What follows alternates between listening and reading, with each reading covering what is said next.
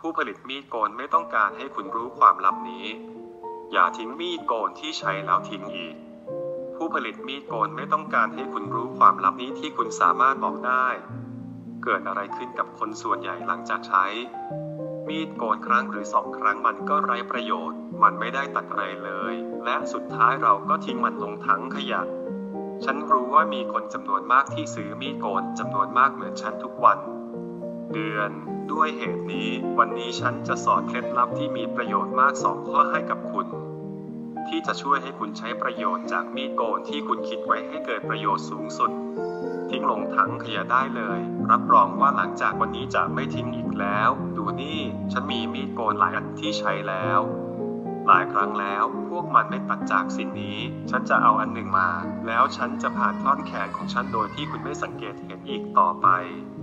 อธิบายไม่ถูกเลยว่าจะหามาได้อย่างไร ขอบมีดโกนของคุณเป็นสิ่งแรกที่คุณ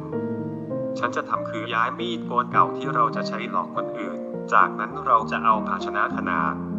ปานกลาง แล้วเราจะวางมีดโกนไว้ที่นั่น แล้วฉันจะไปเอาน้ำร้อนมากๆและ ฉันจะเทมันลงในภาชนะและพักไว้สักครู่ ในขณะที่ฉันค่อยๆพอดรับชมและแชร์ทริคทำเอง ผ่านไปหนึ่งนาฬิกานาที จะอวอ ตอนนี้ฉันจะลองกับแขนของฉัน และดูว่ามันใช้ได้ดีแค่ไหนจำไว้ว่าเพื่อให้น้ำทำงานได้ ครั้งที่สองจะต้องร้อนมาก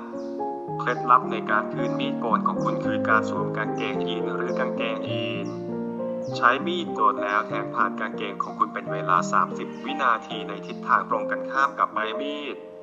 จากนั้นคุณทำเช่นเดียวกันกับอีกข้างเป็นเวลา 30 วินาที เมื่อคุณทำเสร็จแล้วคุณสามารถลองใช้งานได้ และคุณจะสังเกตเห็นว่าตอนนี้มันจะคมชัดมากเป็นของขวัญพิเศษที่ฉันจะแบ่งปัน อีกเคล็ดลับในการขจัดขุยและขนออกจากเสื้อผ้า ถ้าคุณมีเสื้อผ้าที่มีที่โกนขนและขน มันใช้งานได้ดีสำหรับสิ่งนี้ คุณเพียงแค่ต้องวิ่งผ่านเสื้อผ้าที่นึ่งฟูด้วย ระวังให้มากแล้วคุณจะเห็นว่าพวกมันจะออกมาอย่างง่ายดายได้อย่างไร นี่เป็นทางเลือกสำหรับ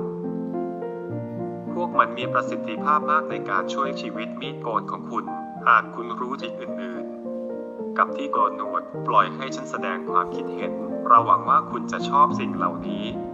เคล็ดลับภายในบ้าน ถ้าใช่ คุณสามารถสนับสนุนฉันได้โดยสมัครรับข้อมูลช่องของฉัน ขอบคุณมากสำหรับคนที่ดูวิดีโอเจอกันใหม่ตอนหน้า ขอพระเจ้าอวยพรคุณมากๆ